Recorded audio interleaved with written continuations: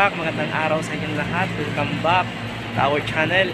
Yan mga karak, andito naman tayo sa rooftop. Kung saan mag-check na naman tayo ng aircon. Ayun mga karak, hindi lang lalamig sa baba. Pero maandar naman ang indoor unit. So ngayon mga karak, samahan nyo ako, i-check up natin. So pupunta na tayo doon. Yung mga karak, nagkumuha na ako ng mga gamit para sigurado. Yan. Kung sakali man na may problema, may periyo na tayo at may gauge na. Tapos may tester na rin mga karak. Ngayon mga karak, samahan nyo ako, pupunta tayo doon. Sa unit. So, yan. Araw-araw na may trouble mga karak, kaya napaka hirap ang maging isang aircon technician. Kung makita yung mga karak. So, dito na tayo mga karak sa unit. Ayan. So, so ayan mga karak, nandito yung unit. Ayan. Ayan mga karak, gum- gumagana ang ano, fan motor. Outdoor motor, pero yung compressor hindi nagana mga karak. So, i-check natin sa manyo kung mga karak kung check natin kung anong problema. Ayan. So, open natin mga karak yung ano, yung ano niya. So, yan mga karak, naka-open na. Ayan, oh, kita niyo naman, napakadumi. Ano, ano, so, ipa-flashing natin yan mga karak. Ayan. So, ang gumagana ang pan motor, pero ang compressor hindi nagana mga karak. So, ito kasi mga karak, hiwalay kasi yung supply ng pan motor at saka supply ng papuntang compressor. Hiwalay siya. So, yung ano mga karak, yung pan motor nito mga karak, galing sa baba yung supply. So, ngayon, check natin bakit gumagana yung pan motor pero compressor hindi nagana. Ayan. So, i-check natin mga karak itong ano, itong relay, contactor relay.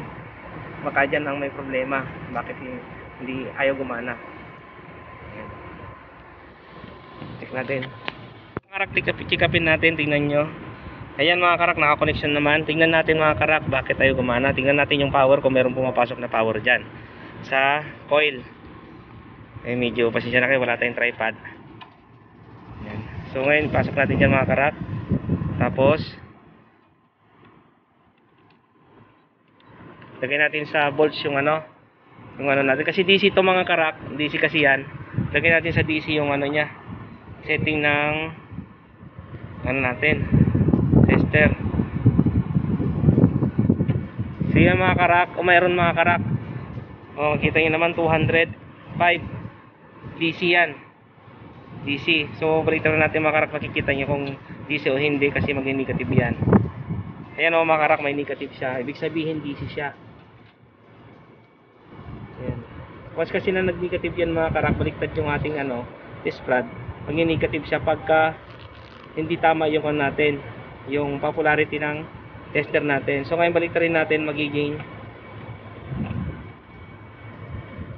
positive siya yan. Ayan mga karak. So ibig sabihin mga karak, meron tayong power na nakukuha pag trigger ng magnetic contactor pero ayaw ko mag-contact. Ayaw magpagana gumana yung ano, yung ating contactor, contactor relay. So ngayon tanggal natin mga karak. So confirm na yan mga karak na yan ang sira natin. Ano na? So ngayon remove natin. Yan.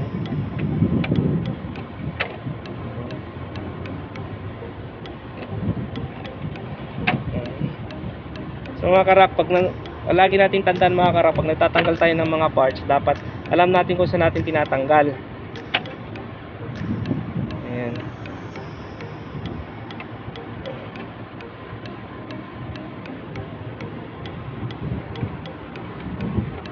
Ah, hirap tanggalin yan. Ayan mga karak, tanggal na.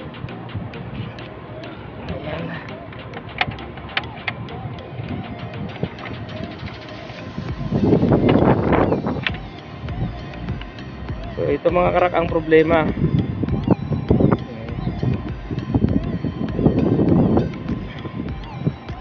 Relay na 4 pin.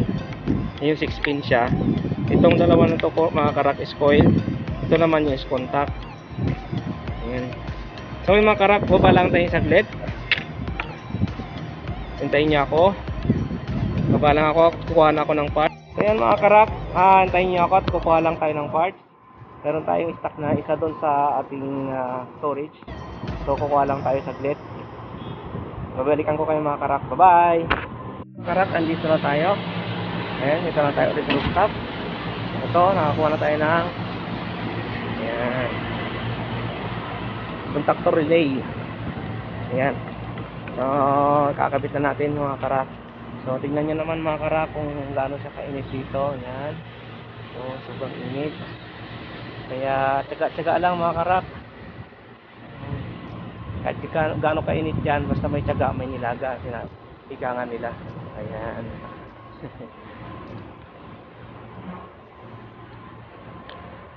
so, ito na. So, mga karak. Isa na yung old. Ah, ito yung ito yung old mga karak. Ito. Ito naman yung bago. Mga karak ikakabit na natin. Dandahan lang kasi baka tayo masasabitan. Ayan. So, dandahan lang. Ito natin yung ano.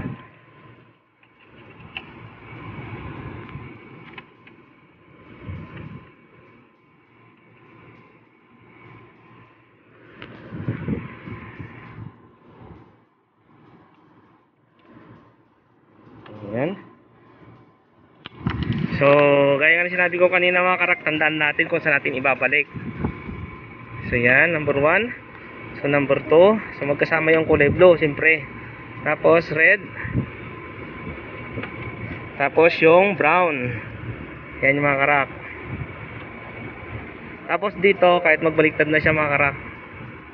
Kasi wala naman tayong papara, pa, ano dito. Saan na yun? Nawala, nagtago. Where are you? Yan. Yan.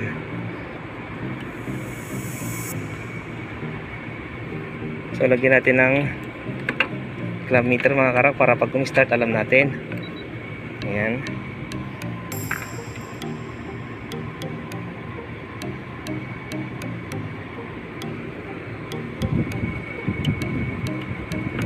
Yan mga karak, okay na.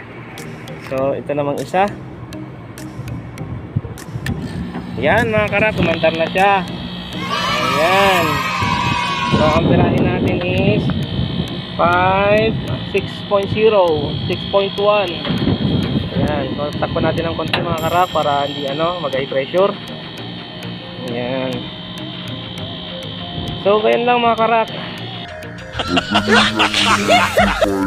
Anong problema ng isang unit? Dapat lang may konting ano lang, may konting tiyaga lang para makita kaagad kung anong problema. Ayan mga karak. So sa ngayon mga karak, ito okay na. So tingnan natin naman ah, mababa yung amperahe mga karak. So check natin yung kureyon din kasi medyo mababa. Baka nga siguro kahit kaya mababa yan gawa, gaya ng gawa ng gawa nung yung temperature dito sa labas hindi pa masyadong kainitan. Ayan. Dapat ito kasi mga karak mga 7.2. Ayan.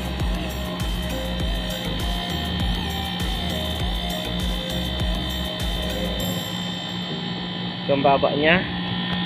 Tingnan natin. Ayan. Total may, may ano naman tayo mga karak. Kompleto naman tayong dalang gamit. So, check na rin natin. Mga karak, ganyan naman tayo.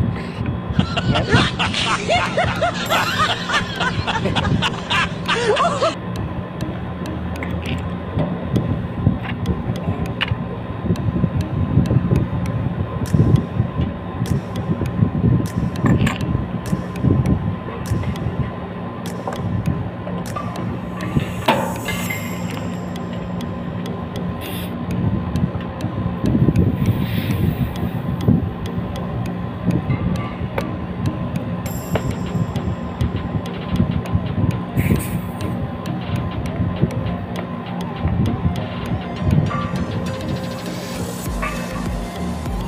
mga karak, ang, ang ano natin, pressure natin is 55. So, uh, parang okay lang naman itong mga karak 55 kasi ano, hindi man masyado kainitan pa. Ayan. Tataas pa kasi itong mga karak pagka ano, pagka mainit yung panahon. So sa ngayon, okay pa. Kayang-kaya pa natin ano niya, unit. Pero karga natin konti mga karak. Gawin lang natin 60.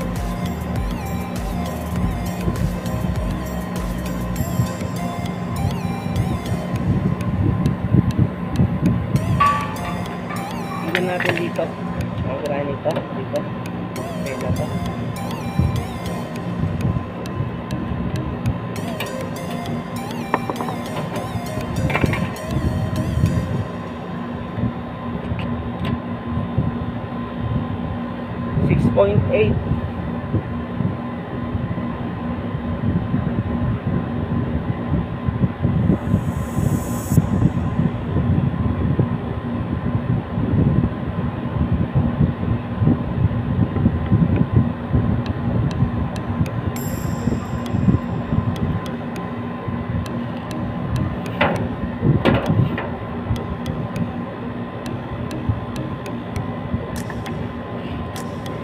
So yan mga karak, 60 na siya.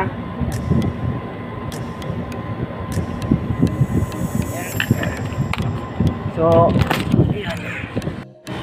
Yung mga karak ko, 60, 60 na siya. Yan. Tapos ang amperahe niya mga karak is 6.7. So okay lang yan mga karak kahit mababa yung amperahe niya kasi hindi man hindi pa hindi pa naman masyadong peak peak ano ngayon, peak hour. Pag peak na yan mga karak, aabot na yan ng 7.2 hanggang 8 na tong mga karak. Ayan.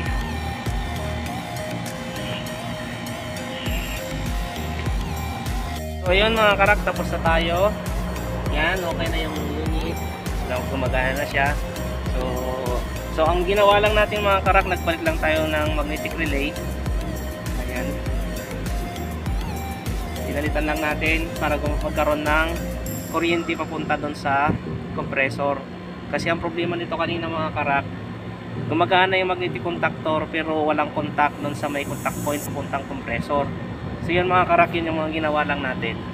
Kaya ayaw gumana yung compressor pero maandar ang pan motor. Ang pan motor kasi ito mga karak direct sa baba, galing sa baba yung supply. Kaya meron pa rin siyang power. Makikita mo kaagad na may problema yung contactor kasi gumagana ang pan motor. Unless kung may problema ang compressor. Kapag may compressor ay may problema karak, makikita mo rin doon sa unit. Kasi may pindutin ka lang doon makikita mo na yung trouble ng unit. Kaya doon naman mga karak wala naman tayo nakitang problema. So numeric tayo kagad pupunta rito sa taas. Ayun nakita natin ang problema mga karak is yung magnetic, magnetic relay. Ayan so ngayon mga karak gumagana na siya malamig na siya malamig na malamig na rin yung tungo natin ayan okay na So ayun mga karak, maraming salamat. Sana paki-subscribe. ah click the notification bell mga karak para updated kayo sa mga upload pa nating mga video. Yun mga karak, maraming salamat. Bye-bye.